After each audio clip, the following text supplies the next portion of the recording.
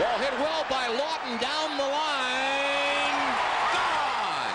Home run for Matt Lawton, fourth of the year. Pirates four, Rockies two. Well, he got all of that one. That ball clearing the stands.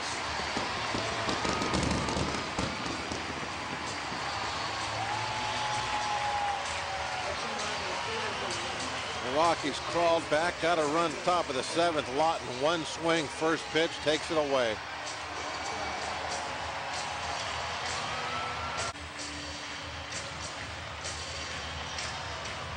It's that famous game, Will It Float? How far did it clear by? Oh, it went all the way down the sidewalk.